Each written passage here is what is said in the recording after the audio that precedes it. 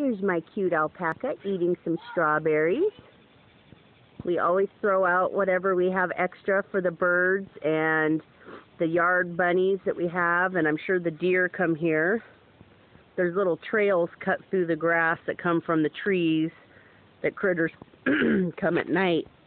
But this is one of our alpacas here.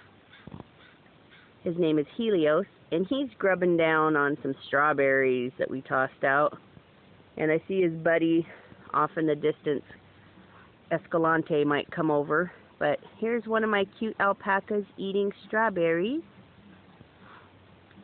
And I think they've also been eating the bread that I've tossed out because I tossed out quite a bit of bread and it's already gone. So I have a feeling my alpacas are supplementing their diet with some goodies.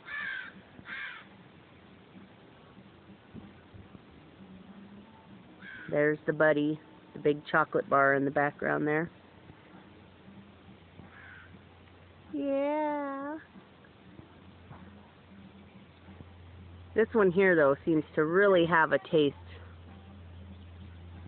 for non-traditional alpaca cuisine.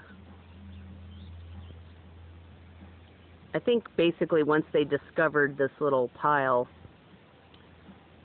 they make it a regular part of their routine. They I catch them out here several times a day checking to see what's what's out there. And there's his little jaw munching.